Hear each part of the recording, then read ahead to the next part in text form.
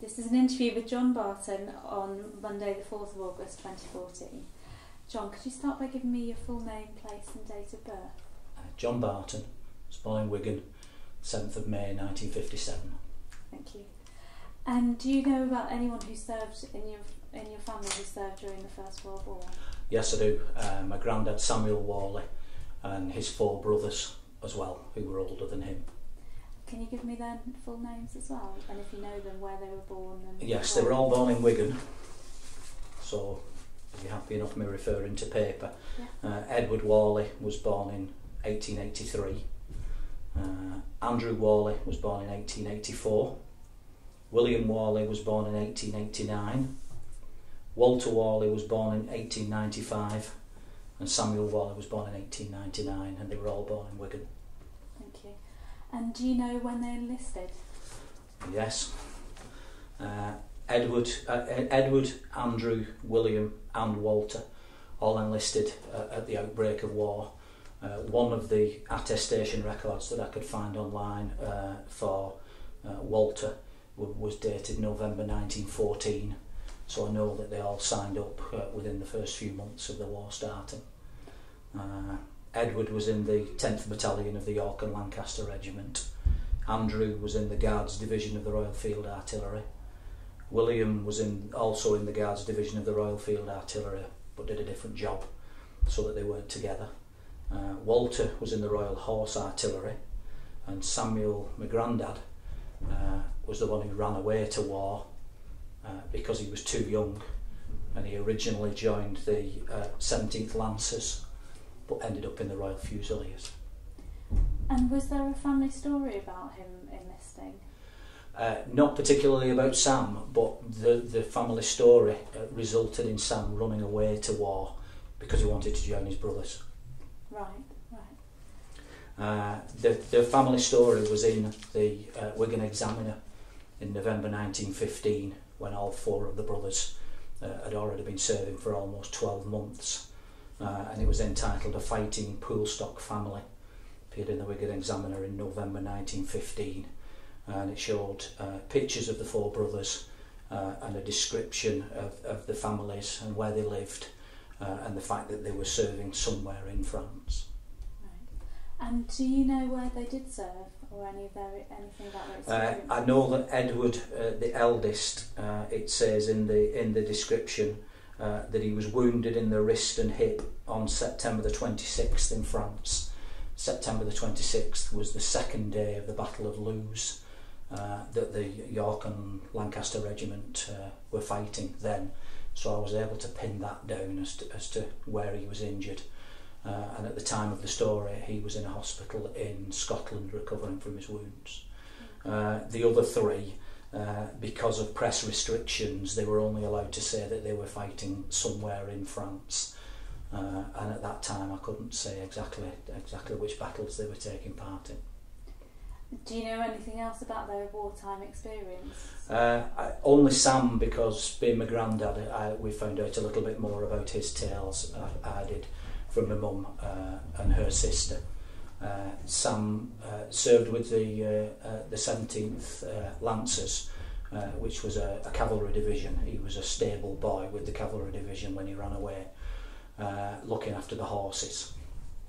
And then eventually, when he transferred to the uh, Royal Fusiliers, uh, he fought at the Battle of Somme in 1916 uh, and was gassed at the Third Ypres battle, which became Passchendaele in 1917. And did he? Did you know your grandfather? I knew my granddad. Yes, I did. Did he yeah. ever tell you anything about? He didn't. He didn't speak a great deal about the war. To be honest with you, no. He he, he kept very quiet about it. Uh, it is is I only got his medals from his son uh, recently, and then started to research a little bit more about his about his past, and, and just heard uh, the one or two stories about him, such as him running away to war.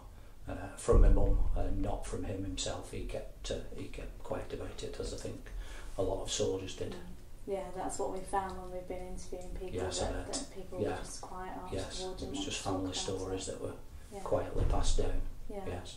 So did your mum ever say anything about The it? the only story that my mum told me was the one about him running away he'd seen this story that was in the Wigan Examiner about his four older brothers uh, fighting in the war, uh, although he was only just turned 16, he decided that he wanted to play his part. Uh, so he ran away to war. Probably went to Preston because a lot of the troop trains left from Preston uh, and caught the train there, uh, enlisted in Preston uh, and caught the troop train. And it came through Wigan and he leaned out of the window, by all accounts, uh, to some little boys who were at the side of the track uh, and shouted, It's Sam Worley from Milton Street. Tell me, Ma, I've gone to war. what a fantastic story. um, and do you know anything about well, you you said a bit about his experience, haven't you? Yes, yeah, subsequently he, he served as a stable lad with the 17th uh, Lancers uh, that he that he signed up for, uh, and went across to France and looked after the horses as a stable lad rather than uh, serving on the front line uh, with the cavalry units, uh, was eventually transferred to the Royal Fusiliers and fought at the Battle of the Somme and at uh, Ypres as well, where he was gassed. And what happened after when he was gassed? Was he invalided? He was he was invalided to a, a hospital uh, on uh, the coast of France, uh, and eventually came home uh, and had asthma for the rest of his life because of the uh, mustard gas that he'd suffered. And what about your your great uncles? What happened to them? well, uh, all four of them came back from the war. Not one of them was killed. Uh, Edward, the eldest, had been evacuated because of his injuries at the Battle of Loos in 1915, uh, and I'm not aware that he went back uh, to the front. Uh, but the other three brothers uh, served their time at the front and, and came home safely, uh, and all got married and all had families and all lived into the late 60s, 70s and early 80s. So every every one of the five of them uh, had long, uh, long fulfilled lives after the First World War. That's amazing, isn't it? Mm. When you mm. think how many families didn't have. Oh yes, that none came back. Yes, yeah. that all five of them came back. Especially after the story telling that they were at the front, you know, and fighting. That uh, that all four of them survived it in different regiments. And do you know what did the, what jobs they did come back to when they returned back to Wigan? Uh, it's there's probably more detail in the family tree. It does say in this in the story uh, what they what they were doing on the outbreak of war. Uh, if you wanted to know that, yeah. uh, Walter uh, was employed at the stores of the Old Oldfield Brewery, uh, which was uh, close to Milton Street in Poolstock in Wigan. Uh, Andrew uh, became a shoeing smith, uh, was employed at uh, Garswood Hall Collieries. Uh, William uh, was employed by the Lancashire and Yorkshire Railway as a carter, and uh, Edward would also been employed at Garswood Hall Collieries. Whether they came back to those jobs or not, I'm not sure. Mm-hmm. And do you know if they did they were they awarded any medals for their war service? Uh, as, far as I'm aware, they all had the uh, the standard two war medals. Uh, one of them, uh, because he served in a, a, a 1915 campaign, had the 1915 star. Uh, and I, I know that Sam as well. I've got both of his war medals. Uh, and his cap badge from the 17th Lancers, which is the Death or Glory, the skull and crossbones, uh, and I have the brass spurs uh, that uh, that he must have used when he was riding the horses uh, to and from the front uh, for the uh, for the lancers. Mm. That's quite a nice sort of memento. Oh yes, very much so. Yes, yeah. yes. Yeah.